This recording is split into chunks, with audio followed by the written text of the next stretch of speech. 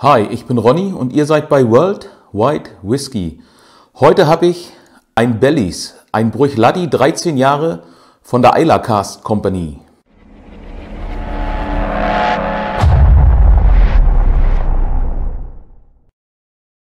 Ja, bevor ich überhaupt äh, anfange mit dem Video, mit dem Whisky, möchte ich sagen, ich habe mir hier, man kann es vielleicht sehen, auch so ein kleines Ansteckmikro gekauft. Äh, das habe ich vor kurzem mal bei meinem Freund, dem Jochen, auf dem Kanal gesehen. Der hat, hat sich ja jetzt auch das, das Mikro gekauft. Und ich habe zu ihm gesagt, ja Mensch, da wäre ich auch daran interessiert, gib mir mal einen Link. Ich bestelle mir mal dieses Mikrofon.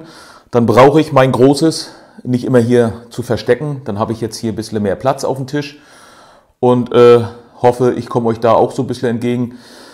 Ähm, ja, sagt mir mal, wie der Ton ist. Ich weiß es nicht, also ich kann es kann's, äh, nachher am Computer kann ich es kann ich's hören, wenn ich, wenn ich das Video schneide, aber äh, sagt mir mal, wie ihr das empfindet, ob das äh, so okay ist.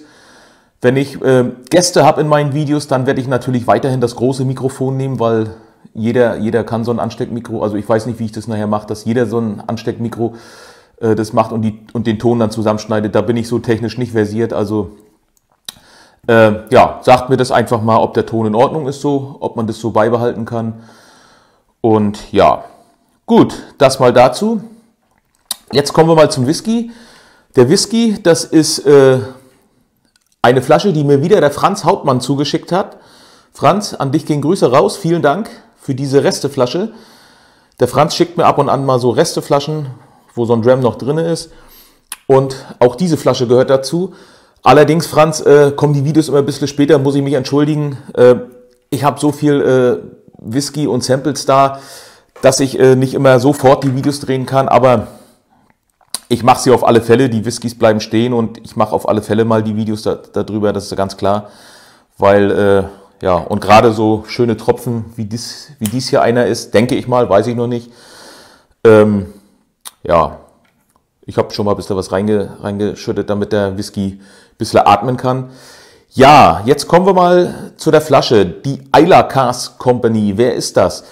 Das ist, ähm, ja, das sind fünf Leute, Whisky-Enthusiasten, Whisky-Fans, Whisky-Liebhaber, die sich da zusammengetan haben oder die, ich weiß gar nicht, wie die sich zusammengefunden haben. Das sind wohl Freunde oder, oder ist, ist ein Stammtisch oder wie auch immer.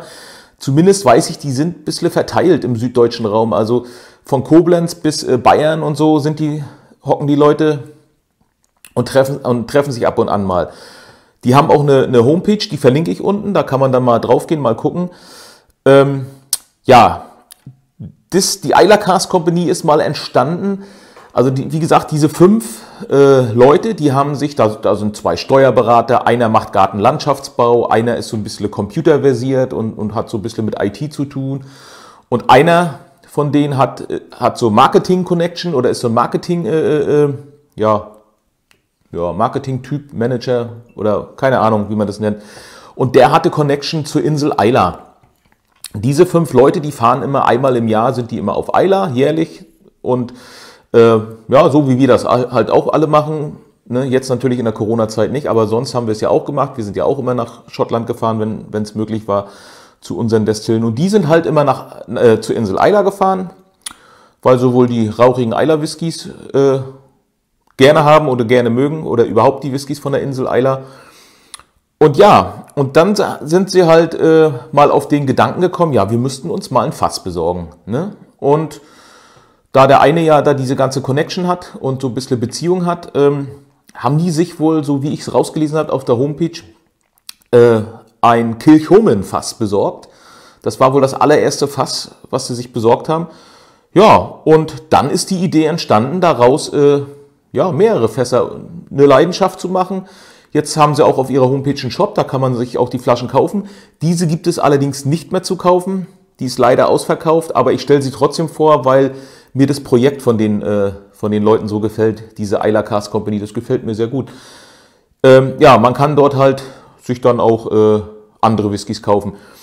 Dieser Whisky heißt Bellies. Bellies, das ist, äh, weil der eine dort von den fünf macht ja Gartenlandschaftsbau und sie benutzen botanische Ausdrücke, botanische Namen für ihre, für ihre Abfüllung nach dem Alphabet. B ist Belly, äh, ist jetzt der Bellies, Denke ich mal, wird es das zweite Fass gewesen sein, was sie dann genommen haben. Und hier drauf auf dem Etikett, ich kann mal gucken, ob, ob das ein bisschen scharf macht, die Kamera. Moment. Da ist eine Blume drauf oder sind Blumen vorne drauf.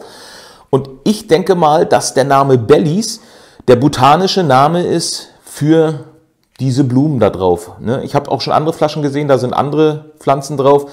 Also ich denke mal, dass die halt äh, ja, die botanischen Namen hernehmen für, für die äh, Abfüllung. Man muss ja dem Kind irgendwie einen Namen geben. Und sie füllen halt Fässer ab oder lassen Fässer abfüllen.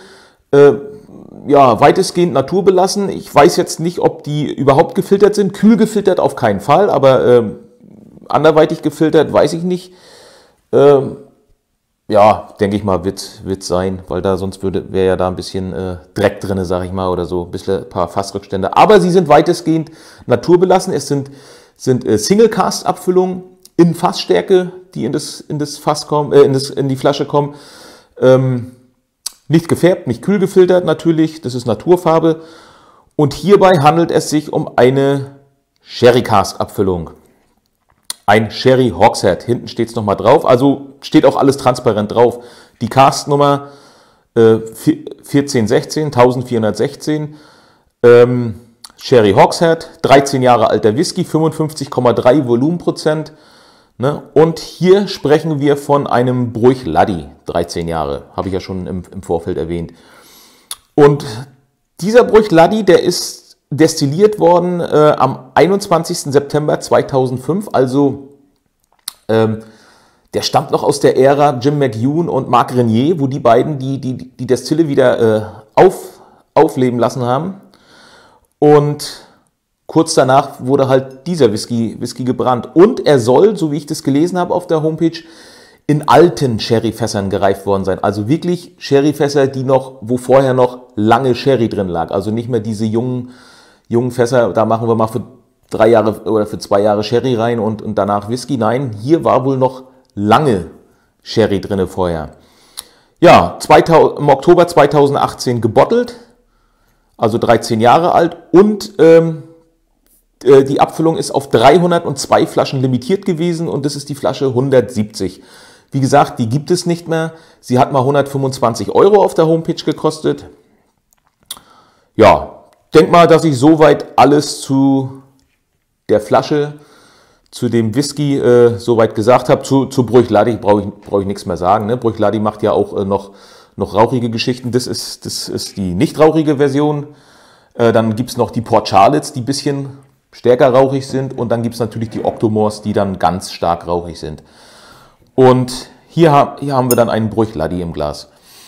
Ja, also kommen wir mal zum Whisky. Boah. Ho. Jesus. Da kommt eine Sherryfracht entgegen. Ich meine, wenn man sich die Farbe mal anguckt, ne, das ist, also das ist echt dunkles, dunkles Mahagoni, sag ich mal. Also sehr dunkle Farbe. Boah. Sehr intensiv, also wir, wir reden davon 55,3 Volumenprozent. Sehr, sehr intensiver äh, Sherry, richtig, der Sherry knallt einen gleich richtig, der springt einen richtig, richtig ins Gesicht, sag ich mal, in die Nase. Boah, sehr, sehr Sherry-lastig. Aber ist ja genau mein Beuteschema. Ich mag ja diese, diese äh, sehr alten Sherry-Whiskys, also diese, die, wo, wo aus sehr alten Fässern kommen, die mag ich ja. Und 13 Jahre in dem Fass gelegen, dürfte auch schon äh, ein schönes Alter sein für so, eine, für so eine Geschichte. Jetzt weiß ich nicht, ob das First Fill Sherry war oder so, das steht halt nicht drauf. Das ist das Einzige, was da nicht draufsteht. Aber ich denke mal, das müsste schon so in die, naja, oder First, First Fill vielleicht nicht, äh, Second Fill, sage ich mal. Die zweite Abfüllung wird es wohl, denke ich mal, gewesen sein, weil bei First Fill 13 Jahre, da wäre das, da wäre das Ding schwarz, glaube ich. Wunderbare Nase, wunderbar. Also hier,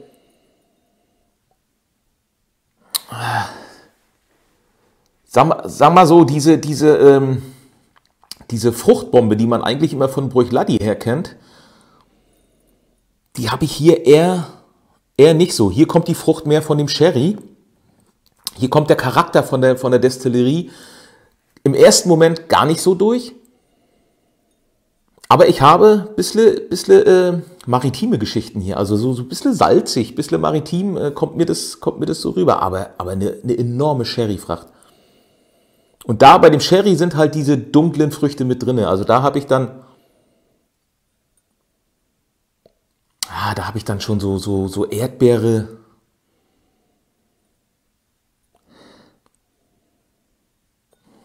Dunkle Kirsche vielleicht, aber ganz, ganz dunkle, ganz dunkle, saftige, reifige, äh, reife Süßkirschen. So würde ich, so würde ich das sagen. Sehr sherry-lastig, muss ich sagen. Also der ist extrem aufgeladen. Eine süße, eine süße, äh, eine vanillige Süße habe ich da auch noch. Eine schöne, äh, ja, Vanille vielleicht gar nicht. Ja, doch, Vanille oder Honig, so vielleicht Karamell, Honig, vielleicht in die Richtung gehend noch. Und eine leicht schweflige Note habe ich hier drin, muss ich sagen. Eine leicht schweflige Note. Das, äh, weiß nicht, das kenne ich eigentlich von Brüchladi, glaube ich, nicht so. Das muss dann auch vom Fass kommen.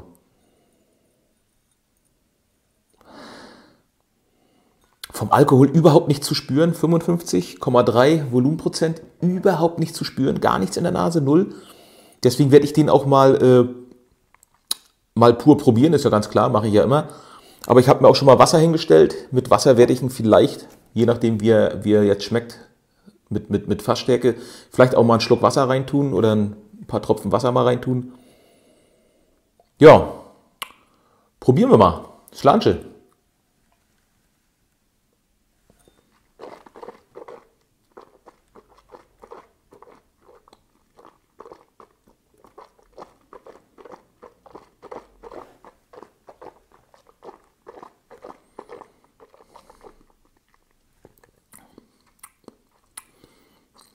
Boah, heftigst. Also alle heftigst Sherry hier. Boah. Und Alkohol. Jetzt merke ich auch einen Alkohol. Jetzt äh, brennt und kribbelt so ein bisschen auf der Zunge und so, so an den Wangen in, inwenden. Boah, jetzt habe ich, jetzt ich ganz stark Tabaknote, eine Tabaknote, altes Leder, altes äh, äh, äh Ledersofa so richtig aus so einem Herrenhaus, so, so, so ein richtig altes, abgewetztes äh, äh, ähm, Ledersofa. Ganz starke Ledernote. Ganz stark. Und Tabak. Und in der Nase habe ich jetzt eine Süße. Eine richtig schöne Sherry-Süße. Jetzt kommen die Früchte auch in der Nase raus, finde ich.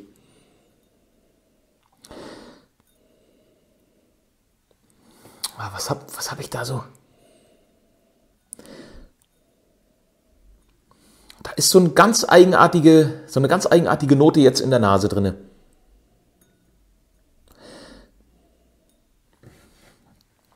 Ähm, ja, das geht. Das geht in die Richtung faule Eier. also so die Nase jetzt. Jetzt, jetzt nachdem ich so äh, den Rachenraum mit, mit, dem, mit den Aromen äh, gefüllt habe,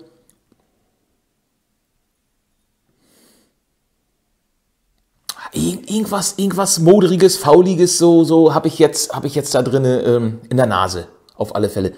Aber jetzt nicht, aber jetzt nicht so unangenehm, nicht so, dass ich sagen würde, nee, das, das ist, das ist eklig oder so. Gar nicht, nee, aber so, so, so einen leicht fauligen, muffigen Geruch habe ich jetzt drinne. Jetzt, jetzt sind es wieder nicht die, die, die faulen Eier, das hatte ich eben. Weiß nicht, also das, das, das wandelt ja ständig, du. Also leicht faulig, modrig ist es ein bisschen. Mit, der, mit einer Süße gepaart. Und, und hinten, ganz hinten durch, ähm, ist, ist eine Frucht. Und da hätte ich so, so, so Erdbeere und ganz dunkle Kirschen, wenn ich, wenn ich die, die Aber die Früchte sind nicht, sind nicht dominant hierbei. Ich glaube, ich probiere das mal mit Wasser.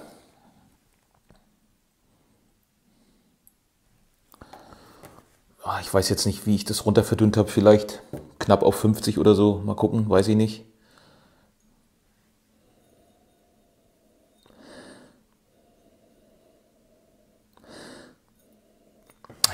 kommt, da kommt das Salzige, das Modrige, dieses, dieses, ähm, ja, faule, faule würde ich jetzt gar nicht mehr sagen, so, so modrig, modriges Holz, so, so, äh, ähm, salzig, maritim.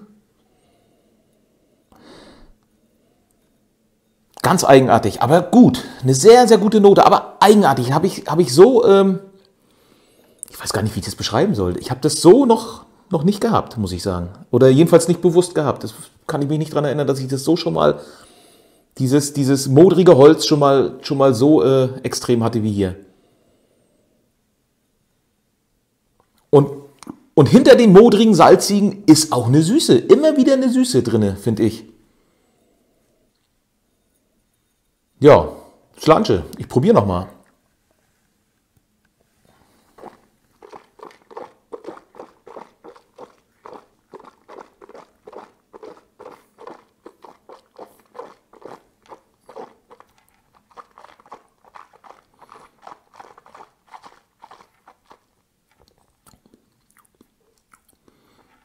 Mhm.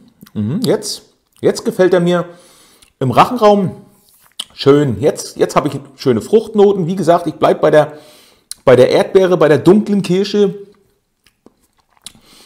Jetzt habe ich nicht mehr so ganz stark dieses, dieses äh, Leder, dieses Ledersofa, diese, diese, diesen Tabak. Die sind hinterschwellig auch noch da. Aber nicht mehr so, nicht mehr so dominant, nicht mehr so, als wenn ich, äh, wie, wie er jetzt in Fassstärke war, da, da, da war, da habe ich diese Ledernote so arg gehabt, also als würde ich auf ein Stück Leder kauen, sage ich jetzt mal. So arg habe ich diese, diese alte Ledernote gehabt. Und, und Tabak. Und die habe ich, den Tabak habe ich jetzt immer noch, aber schön ausgewogen, schön. Und das Leder und diese Früchte, alles zusammen sind jetzt, harmonisieren jetzt miteinander nach dem Wasser. Also braucht der für mich ein paar Tropfen Wasser. Eindeutig. Und der Abgang langanhaltend. Ich habe immer noch im Abgang hinten kommen, kommen dann diese, diese ähm, so ein paar bittere Noten raus, so, so ähm, ja, Kaffee, Mokka. Das deutet darauf hin, dass diese ähm, Abfüllung 13 Jahre immerhin auch schon äh, bisschen Eiche, bisschen äh, Fass aufgenommen hat, natürlich. Also sind, sind so holzige, äh, modrige Holznoten und nach hinten raus ähm, so, so, so, so eine leichte Bitterkeit, also Kaffee, Mokka und boah, also ich muss sagen, dieser Whisky, der überrascht mich, ist nur 13 Jahre alt, aber der überrascht mich, der, der wirkt wesentlich älter. Der kommt mir, kommt mir wesentlich älter vor, also blind, blind hätte ich auf einen 20-jährigen Whisky bestimmt getippt. Und der ist sehr komplex. Also mit dem Whisky müsste ich mich, glaube ich, na, ich habe ja noch einen Schluck. Da, also da werde ich mich mit Sicherheit nochmal hinsetzen und nochmal äh, intensiv mal ein bisschen damit auseinandersetzen. Dafür ist das Video viel zu kurz, um das, um das jetzt alles. Boah, da muss man, da muss man vorweg mal lange dran riechen, da muss man ähm, ruhig hinter der Kamera, ruhig mal äh, seine Gedanken äh, schweifen lassen und, und, und, und, und, und richtig mal die Aromen in sich aufnehmen, sage ich mal. Also das ist ganz eigenartiger, aber guter, sehr guter Whisky, äh, den ich so noch nicht hatte, mit mit, mit so viel Aromen, der, der so komplex ist, der, der, der auch äh, ähm, Schwankungen hat. Mal so, mal so die Nase. Mit Wasser wird er für mich besser. Ohne Wasser war er aber auch schon gut. Da hat er schön diese, diese alten, äh, dieses Herrenhaus, diese Ledernoten gehabt, ne? diesen Tabak, den er, den er jetzt immer noch leicht hat. Aber der mir jetzt besser mit Wasser gefällt, muss ich sagen. Da, da harmonisiert alles zusammen, finde ich, besser miteinander. Boah, mega. Also auf alle Fälle ein schöner, ein schöner, alter, gediegener Whisky. Blind wäre das für mich. Äh, ja, und bewusst nur 13 Jahre alt. Wahnsinn. Wahnsinn, was so ein altes Sherryfass, äh, ja, was so ein altes Sherryfass bewirken kann. Und hier wurde für mich eindeutig ein altes Sherryfass benutzt. Wie alt jetzt äh, oder wie lange da vorher Sherry drin gelegen hat, das weiß ich nicht, das kann ich nicht sagen. Aber für mich ist es eindeutig ein, ein Sherry-Fass, wo lange, lange Sherry drin war. Ja, sorry, da musste ich jetzt einen Cut machen. An der Haustür hat's geklingelt und äh, da war jemand, den ich erwartet hatte, aber den ich eigentlich erst für später erwartet hatte. Und da musste ich an die Haustür gehen. Macht ja nichts, also kann passieren, ne? entschuldige ich mich für. Aber gut, äh, ich weiß jetzt auch gar nicht, wo wir so stehen geblieben sind. Fakt ist eins, der Whisky ist ganz außergewöhnlich, habe ich so noch nicht gehabt.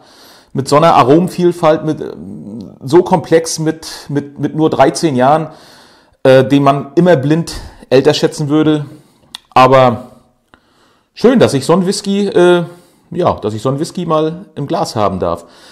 Und da ist auch noch ein bisschen was drin, das werde ich jetzt nachher mir noch zu Gemüte führen, wenn die Kamera aus ist. Und ja, Fazit, zu kaufen gibt's den ja leider nicht mehr. Sehr, sehr schöner, interessanter Whisky und, und ich finde dieses, dieses, äh, die Isla Cast Company, ich finde dieses Projekt, finde ich richtig gut. Sie machen, äh, das sind halt äh, Whisky-Enthusiasten, wie wir das halt sind, die sich da zusammengetan haben. Sie haben halt, wie gesagt, einen Shop dort, aber äh, ja, sie machen das, glaube ich, äh, freizeitmäßig. Also äh, sie, sie bieten auch nicht so viele Fässer an oder auch nicht so viele Abfüllungen an. Äh, das sind halt immer ein paar Geschichten und ich denke mal, äh, fünf Leute können, können von so einem kleinen Shop nicht leben. Also das äh, wird, wird eine Freizeitgeschichte sein und wird, wird die Unkosten decken und äh, ja, und ja, vielleicht fällt noch ein klein bisschen was ab, aber ähm, ja, schaut mal rein da. Also ich finde das ganz interessant. Ich muss sagen, das gefällt mir sehr gut. Und wenn das, wenn das weiter solche Whiskys sind, wie, wie es dieser hier ist, äh, ja, dann lasse ich mir die ganze Sache gefallen. Und ja, er war halt äh, mit, mit 13 Jahren ähm, 125 Euro teuer. Also das ist, äh, ist schon eine Ansage. Ne? Also ist sehr, sehr teuer für einen 13-Jährigen. Aber ich muss sagen, der ist hochinteressant, dieser Whisky. Hochinteressant. Ja, wie gesagt, zu kaufen gibt's den nicht. Aber ähm, ja, das soll es dann auch soweit äh, zu dem Whisky gewesen sein. Ja, wenn ihr das Video gut fandet, gebt mir einen Daumen hoch. Äh, abonniert den Kanal, wer es noch nicht getan hat. Und äh, ja, würde ich mich verabschieden. Macht es gut. Bis zum nächsten Video. Ciao.